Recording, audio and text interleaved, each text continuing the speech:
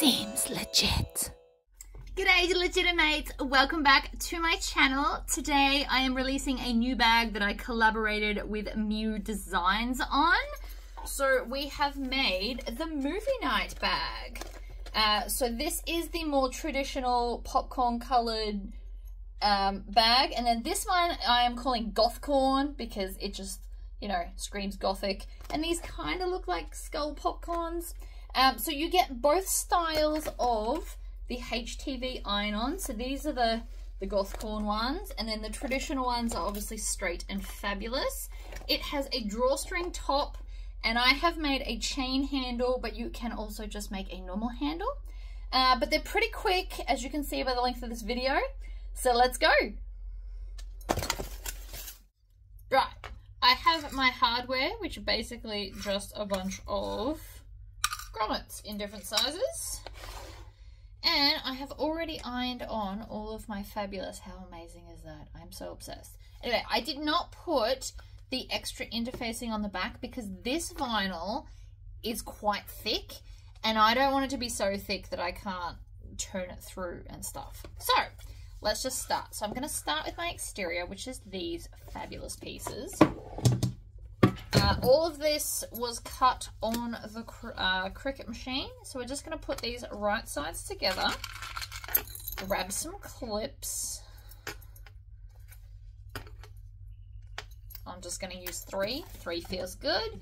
And then we're going to maintain the seam allowance. So it should come in right next to the lumps along the top. And then we're going to angle it down. And then when we get to the bottom, it angles out and goes straight like that. Make sure I've got some tails. Trim off those top tails. And this is what we have. Fabulousness. So I'm going to grab another one and we're going to basically create a loop of these. So I'm going to pin the top and the bottom together and then I just put one in the middle. Now you can put extra clips if you want to. It's not going to hurt to do that. Quite happy it's just occurred to me I've grabbed all the same colour. That's a bit fun. Trim the tails off. We want to get rid of them so that they're not in the way. So again, top clip. Why does that one look different size? Bottom clip, start up the top here, stitch on an angle, down we go. Straighten out and back stitch. And then we're going to take this one and this, oh my god, sorry. I'm just really obsessed with the fact that it's all sparkly.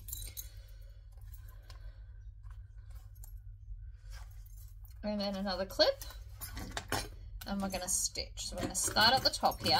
Now, if you're using a thinner vinyl, 100% please put your interfacing. But like I said, this vinyl is quite thick, and the holographic HTV actually gave us extra stability as well. So again, if you're using non-holographic, it won't be as thick. Ah, amazing. So now we're going to take our zigzag scissors or pinking shears, whatever you prefer to call them, and I'm going to cut off most of the seam allowance. This bag probably didn't need to have the half inch seam allowance, uh, but I'm trying to be consistent across all my patterns. And I am not going through all my patterns to change seam allowances now. I feel like this is the hill I'm dying on. Same seam allowance across everything. Do, do, do. Chop, chop, chop. Throw out the excess. Of course, if you want to, you can cut down manually before you start the seam allowance. That's also fine. I'm going to take our base. Um, and then we're just going to pick a side, any side. I'm going to put the whole base inside and then line up the flat part. Now it should fit pretty much perfectly in there. And again with the three clips, so you want to have it, so the sticky outy bit should go from seam to seam. And if it doesn't, it just means you've either cut something wrong or um, your seam allowance is wrong. It could go either way, but it's okay. Just fit it in as best you can. So I'm just going to stitch this one side. Now I like to stitch this side and then the opposite one. And this should stop at the seam allowance on the outside. So we're going to do the opposite side over here. Line it up. Three clips is helpful because sometimes things like to move like that. And again, interfacing if you're using a softer vinyl.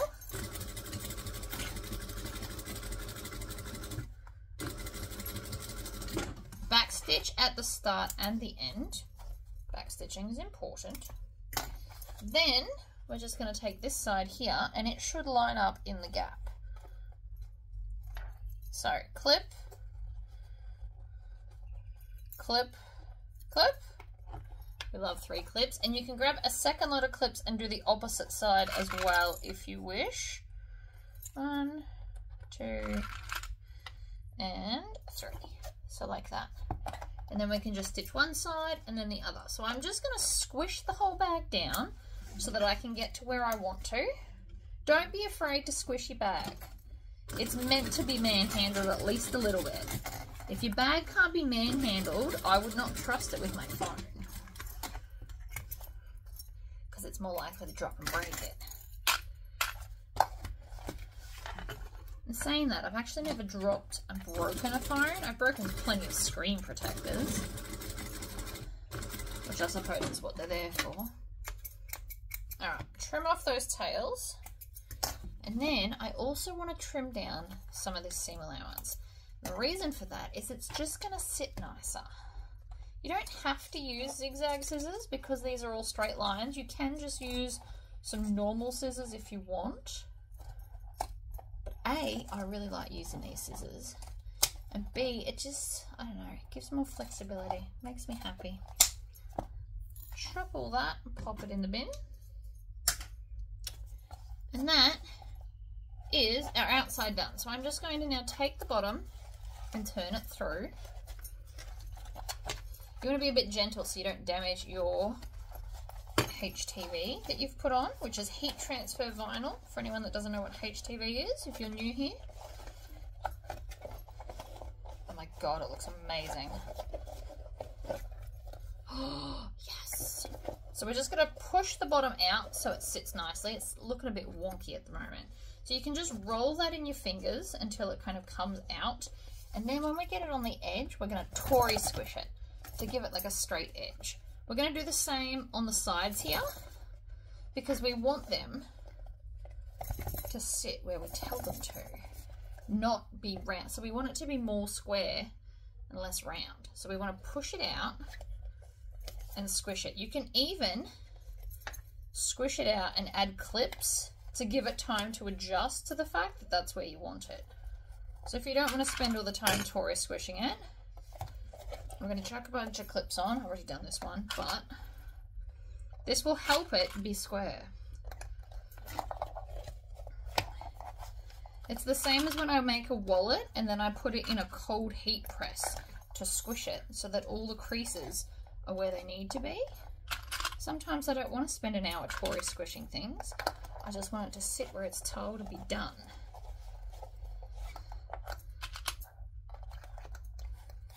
Roll it, squish it, like that. So I'm now going to sit, I know it looks weird, but it's just going to help with the creases. We can set that aside. Right, let's do our top cinch section. So I've got eight of these rectangles. Four I interfaced and four I didn't. The pattern does say to interface all eight, but again, you want to think about what kinds of fabric you're using.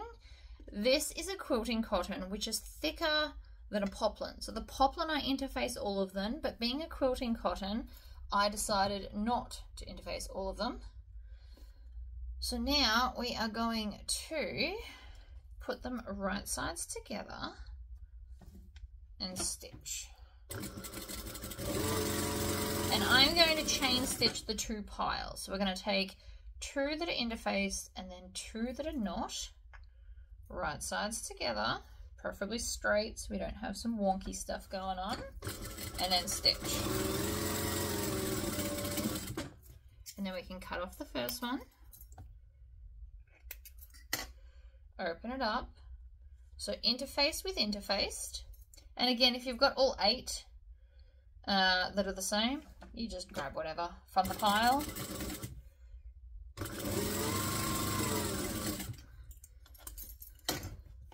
And then we open this one up and we grab one of these. So we're just going to move through them all. This is the quickest way. Now, if you're new to sewing and this is a bit too much for your brain, do all of one pile and then all of the other. I just really like chain stitching. I find it quick and an effective way to make things.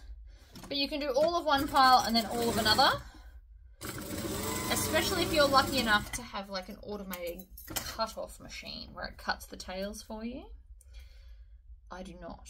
So that's why we're doing it this way. Stitch, back stitch.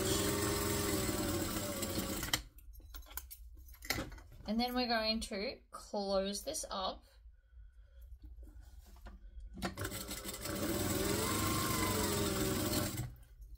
I like to call it a circuit. I don't know why. Closed circuit is a very common term. So I'm closing the circuit. I'm going to grab them both so we can take them both out now. More zigzag scissors. Trim it down. Next one. I always like to lay my scissors on the bench.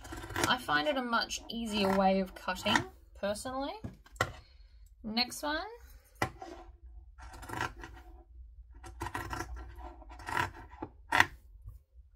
And the last one.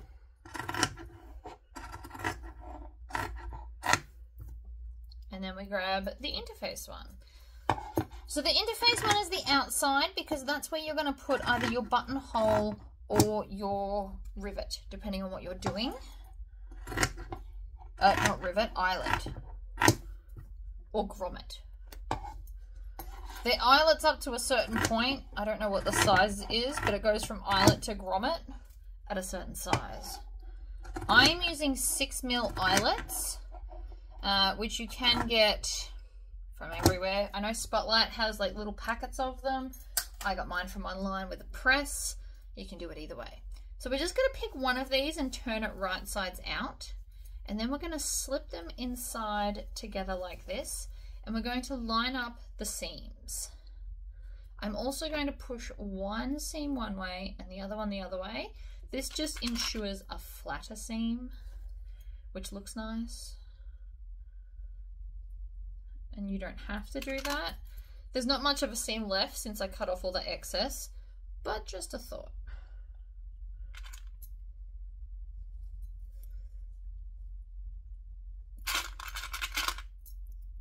like so and then we're going to stitch all the way around now this seam allowance is a little bit more flexible you can do whatever you like here this the pattern says half inch but you could do less you could do 3 eighths I probably wouldn't necessarily just do a quarter but I suppose you could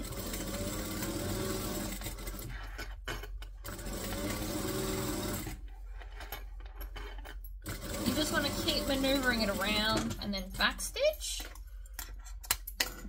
And then more zigzag scissors to cut off that excess. Now, the reason you really do want to cut off this particular excess is because this is going to be the channel where you put your ribbon or cord or whatever it is you're using. Um, and you don't want this fabric to be in the way and constrict it unnecessarily.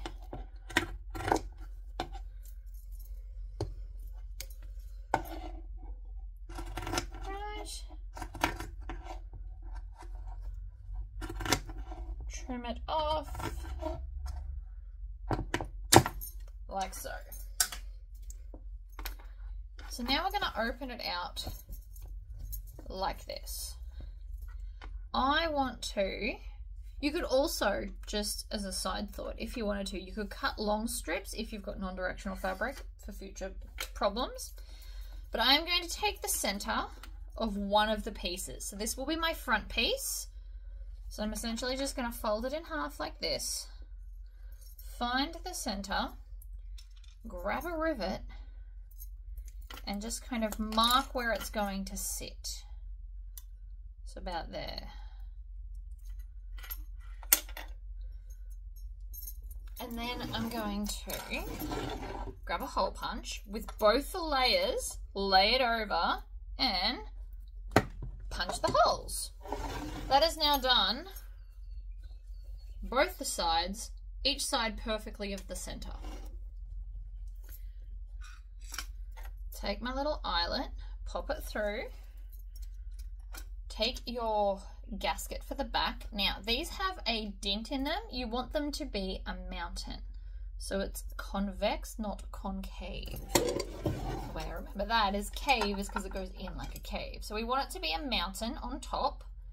Whoops. Lay it down in place. And then squish it down. Same with the other side.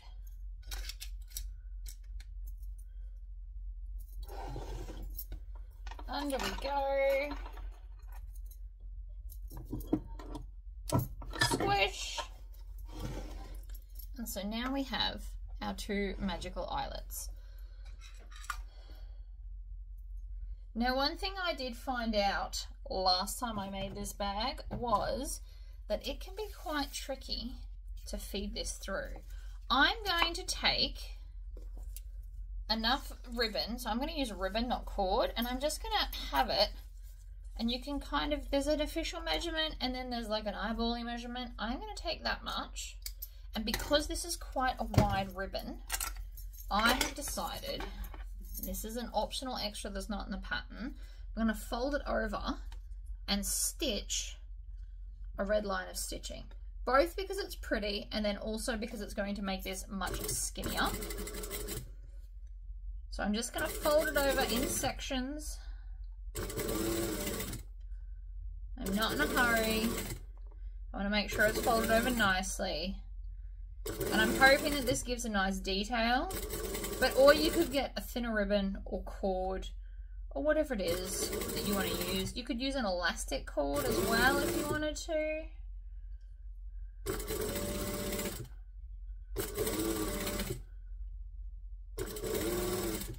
I think that looks pretty and it's matching the bag really well. Yellow, red and white seems to be my theme today.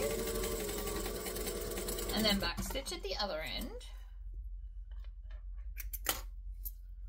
So that's just given like a nice little detail on the ribbon. So now we want to fold them so that the wrong sides are together. So it's like the way it will be in the final. And so I don't have to thread the elastic through, which last time I had to do with a bobbin. That was fun. I'm going to poke this out here. And then I'm just going to feed the whole thing through the two layers and poke it out the other side. Now this is not in the pattern, Normally you just top stitch it and then we feed this through. But I also find that a lot of people find threading stuff through quite tricky. So what we want to do, with the cording in between, we're going to line up the seams at the bottom and clip them in place so that they can't move later. This will just help with lining everything up. Now, because I folded the ribbon in half, I'm going to be able to feel it in between the layers. So now all I want to do, or at least I hope I can, I can, it's all the way up here. It's not where we need it at all. So I'm going to kind of pull it so the excess is out and that should bring it closer up to here. Now this looks fiddly. Again, you don't have to do it this way. I just don't want to have to feed it through later. So to avoid such things, I am feeding it through now, essentially. So we're just going to start up the top here. I might even turn it right sides out so that I can stitch from the top. And then I want to stitch so I'm not going to get the metal uh, eyelets. So again, if this isn't working for you, you can take it off. Just to get my hand in there really. I thought that would help, maybe it won't. So I've now got my hand kind of here. I'm pushing that up and then I'm going to stitch that area. So I am stitching three quarters of an inch from that top edge, which is enough room so I can get around my eyelets without stitching them. So again, I'm pushing it up and then just top stitching it down. Bring it around, pushing it up.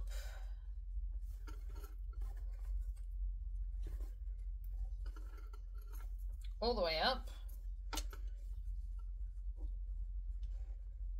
Like so and top stitching at three quarters of an inch, which means I don't have to mark a line because there's already a line on my needle plate, which is making it also quite easy.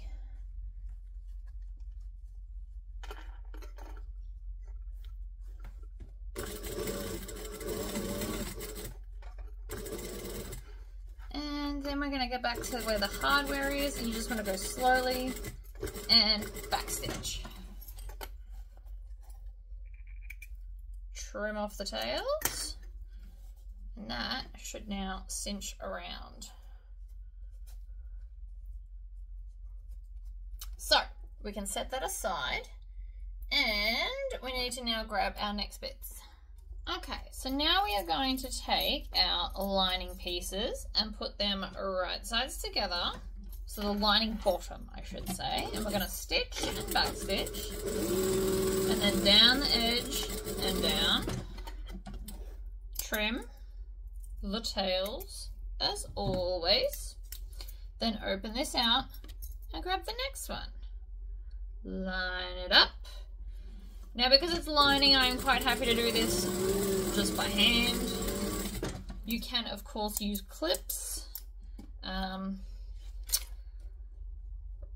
actions have taught me I no longer need clips for lining. Exteriors, on the other hand, are still a little bit tricky. Backstitch at the end, trim off the tails, and then let's do the fourth one.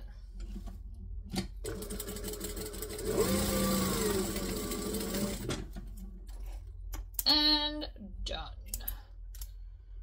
So that's the bottom. We can also add in our base the same way we did for the exterior. So I'm going to tuck the whole thing in, line it up seam to seam, stitch, back stitch, stitch, back stitch. Trim the tails, pull it and do the opposite side.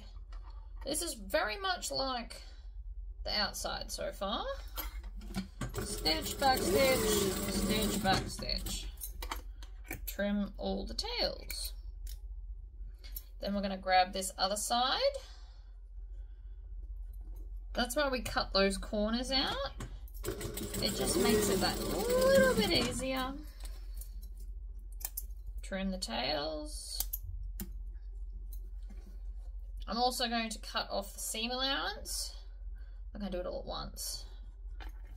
So we just want to go from seam to seam, like so. You don't have to have zigzag scissors for this. You can use straight ones. These are apparently sharp enough, so that's exciting. And the reason we cut off the seam allowance is so when I slot this inside the other part, it's going to sit really nicely. One and two.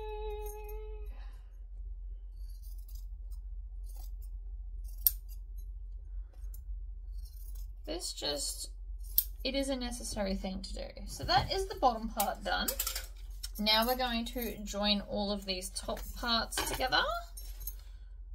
Line it up. Stitch, back stitch, down we go, back stitch. You can even grab these two.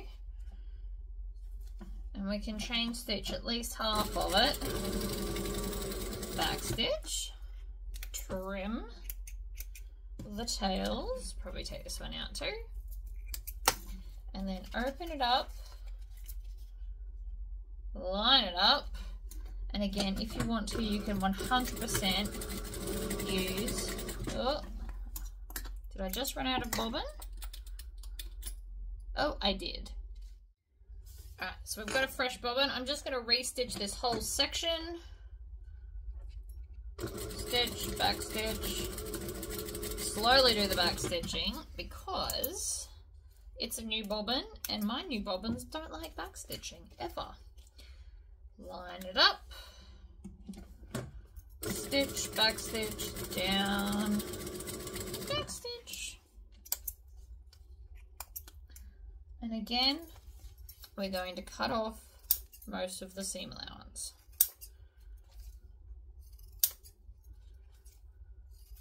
Like that. Put it all in the bin.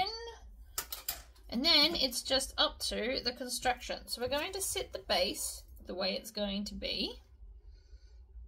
And so then the idea is that this is going to go in between like this and then that shows up on the inside.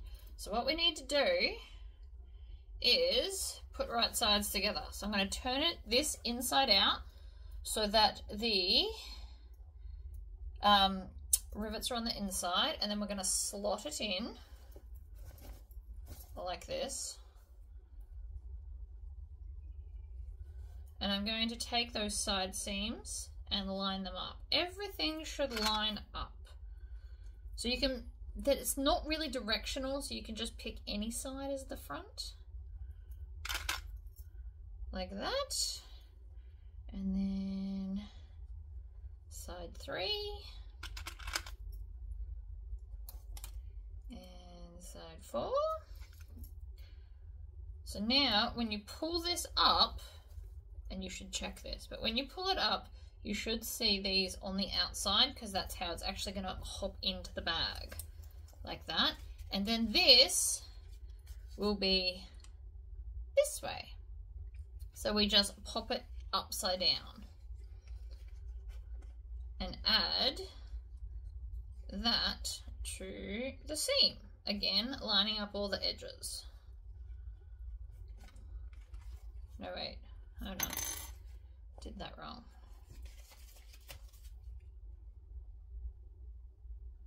I always get this bit confused.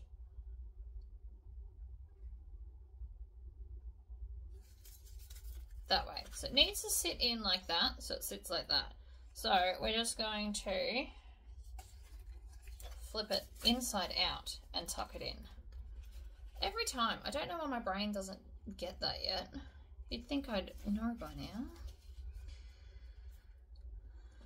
And then we're going to add maybe just some extra clips to these sides to make sure everything stays lined up.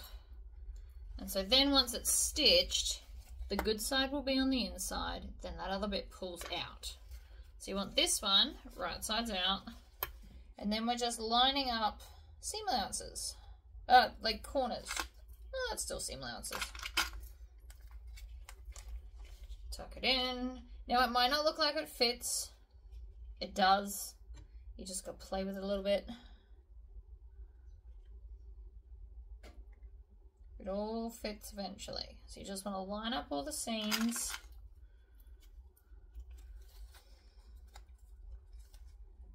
It just doesn't like to be tucked in the way it is, but it will cope just fine, I promise. Alright, last side. Line up all the edges.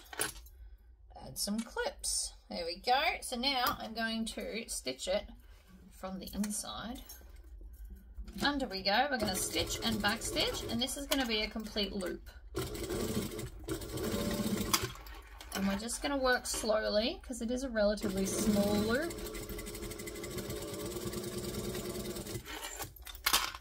Flip it round and around and around. And when we get back to the start, we're going to back stitch and trim the tails. So that, you don't really have to turn it inside out. You just pull this bit up like that, and that is now the lining of the bag. So I can take off all these clips now. They should have created some, see how the edges just look tighter, I guess is the word. See that? See how it's now got a straighter pattern? That was nothing but some clips. So we're going to slot this in and then I'm going to be using glue. So you, you basically want to stick this in here and all of the loops. Now you can top stitch them. The original pattern had it where we top stitch around, but all my testers did agree that that was tricky. So we're going to get some glue to put in here and then clip it all together. So I am using the Selleys Quick Grip Glue. It does say that it is fine for canvas and leather uh, rubber, etc., etc. And cork, actually, that's relevant to this. So it's also quick bonding, whereas a normal fabric glue will take a long time. This one should be pretty quick. It is also clear, so I'm just going to kind of smush it around these loops. Now you don't want it to overflow. And then I'm just going to bring this down line it up and add a clip. And we're going to have one clip on every little bubble, like so. And they should all line up beautifully.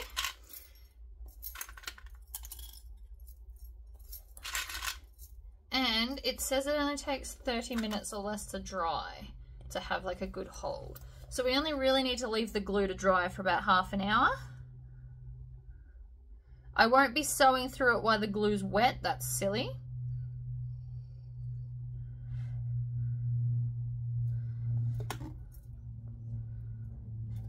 Next one, bring it down, line it up, clip it on.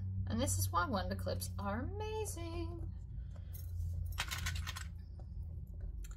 It is not the best of smells. I'm not one to huff glue.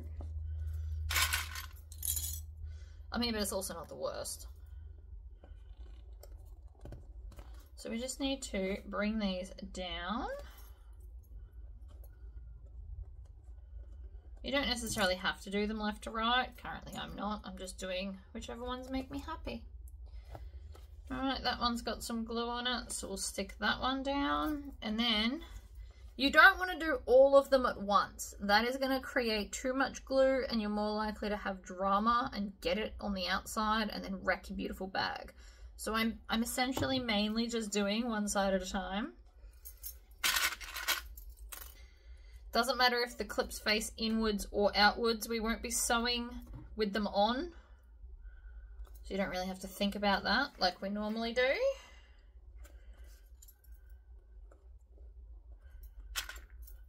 Clip and the last side. So again, now we will, if you wanted to put more glue, you could literally just glue these together and be done. I'm also going to do a line of stitching just for safe measure. But you could put glue on the entire top part uh, and then just leave it at that and the bag is glued together.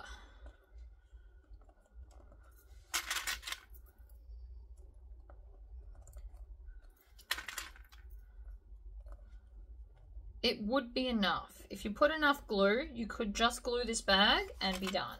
But since this is a sewing channel, I will be sewing it. Add some extra glue in there.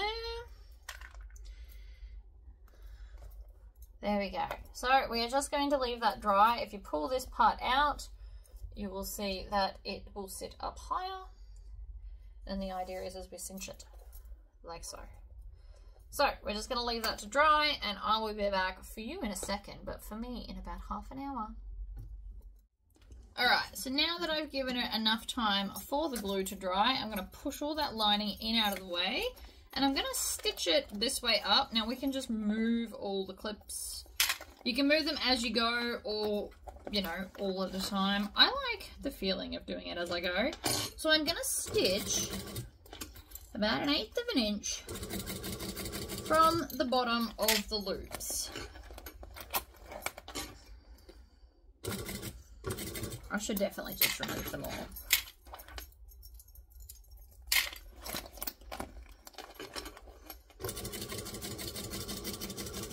So I'm stitching an eighth of an inch from the bottom of the loop And this again is just holding everything, giving it a little bit of extra support.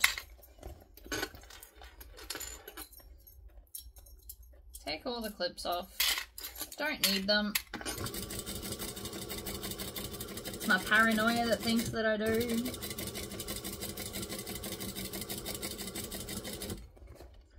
Right, and then as we get back to the start, which is here, I'm going to stitch, one back stitch, and pull it out. And then trim off all of the tails. Now, while this does give a line of stitching across there, it is much neater than doing all the loops. And I think it looks amazing. So we are now also going to need to change over the die sets which I just so happen to have with me.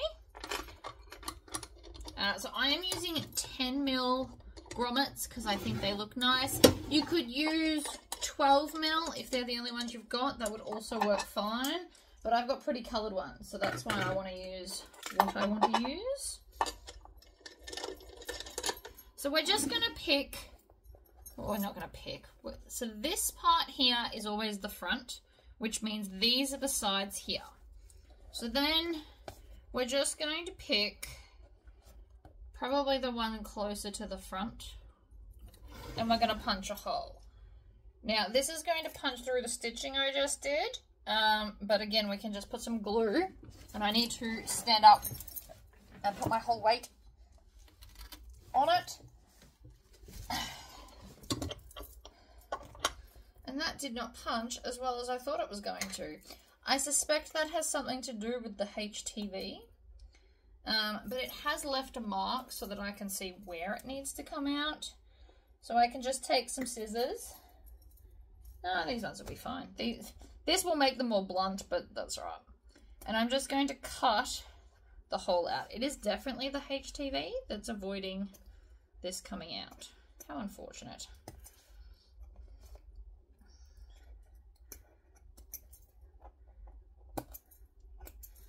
So normally, it's this holographic specific HTV. It's not all HTV ever. And I have these fun little yellow popcorn coloured grommets. So again, we're going to put the gasket on the back and it is going to be a mountain. I call it like that because I'm hoping that that will be easier to remember. And then we squish it down. And then we just need to do the same to the opposite. So this is the back side, one, two, three. Now technically the center is between these two. So you could also put the grommet all the way down there if you so desired. Now again, I don't know if this is actually going to punch my hole properly, but we are going to try. I heard it do most of it, which again is a great start. It is the holographic HTV. It was pain to cut, to be honest. I had to use more pressure for holographic iron-on, and I did two cuts. So I did the whole process twice, uh, just to make sure it really cut through, because the one time I did it as once, it was really hard to weed. So this stuff is just extra firm. If you're going to use the holographic, you may run into similar problems that I have. Not that they're really problems, it just takes longer to do stuff. That's pretty much all it is. Which I don't mind, because this is going to look amazing. So again, cut it out. Doesn't matter if the hole looks a bit dodgy. See that? It doesn't look great. But then we put this on, and suddenly all the problems are gone. So don't be worried if you don't have a hole punch and you have to manually do the, the holes with scissors or whatever, it will still look just as glorious. And then I have, this is my um, strap. It is just really thin chain that I have hooked on here and then I've made three passes. So one end connects to this side and then it's fed through the loop, back through the loop, and then this end is connected to here. So when you pull tight, they all line up. Um, you don't have to do that. You can buy pre-made chains. I think chains look prettier than a normal strap, but if it's not your jam, you can just cut a half inch strap. You would cut one inch, fold it in half, and then stitch it. So then when we pull all of this part up and open it out, this is what we get. And then you can just cinch it closed while still looking cute. And there you have it. One very adorable little bag to take out. I hope this was educational for you all, and I will see you all in the next video. Bye!